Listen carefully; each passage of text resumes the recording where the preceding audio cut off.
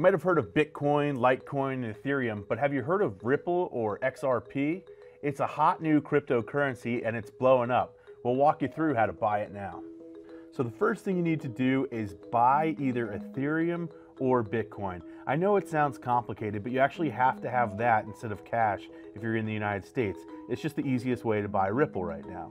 So to do that, I like to use an app called Coinbase. So you open up Coinbase and you're gonna go buy or sell. And this is assuming you've already created an account. You're gonna select the account you wanna pay from. So in this case, I'm just using my bank account. And then I'm gonna choose to buy some Ethereum. It's currently trading at $886.29. We'll enter in $20, which is gonna get us 0.020 Ethereum. And we're going to buy it instantly and our purchase was successful. So now we can see that I have a total of 113 Ethereum. Now we're gonna need to transfer this to what's called a Ripple exchange, one of the exchanges that actually uses Ripple instead of just Litecoin, Ethereum, Bitcoin, and Bitcoin Cash.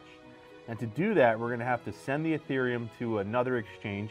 In this case, I'm using Binance, but there are several others, including BitSane, that I've used before too. Once you're on the Binance page and you've logged in, you want to go to the top of the page and you'll see something called Funds.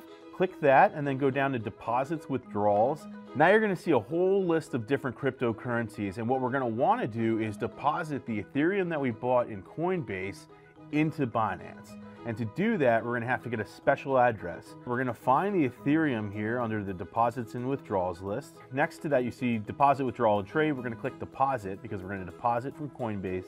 And now what it's gonna do is develop what's called an ETH deposit address or Ethereum deposit address. It's a long, crazy code. And we're gonna copy that and now go back to Coinbase. And on the left, you're gonna see all your accounts and you're gonna wanna go to the ETH wallet, your Ethereum wallet. And under that, you'll see a button that says send. As long as you have money in there, you can do this. You click send, and now you're gonna paste the address that we just brought from Binance into the top of the page. And we can choose how much we wanna send to Binance. So in this case, I'm just gonna send the $20 that we bought earlier. You can add an optional note, and you'll see that I'm gonna have a network fee of 39 cents, which is not too bad. And on my phone, I'm gonna have to confirm this with a two-step verification, which is just keeping everything nice and safe. And I'll type that in now. And now it says your transaction is on the way.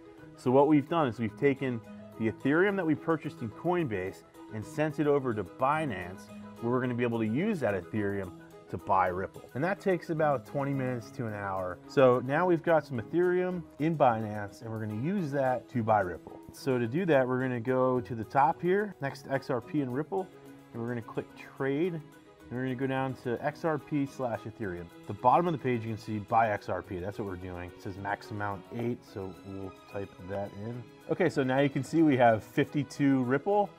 So now you can leave it here. You can buy other cryptocurrencies with it. Uh, you could watch and see if it grows, or you could store it offline in a safe wallet. It is kind of a complicated process, uh, but that's sort of how this goes. Thanks for joining us. That's how you buy Ripple. Hey there, thanks for checking out CNBC on YouTube. Be sure to subscribe to stay up to date on all of the day's biggest stories. You can also click on any of the videos around me to watch the latest from CNBC. Thanks for watching.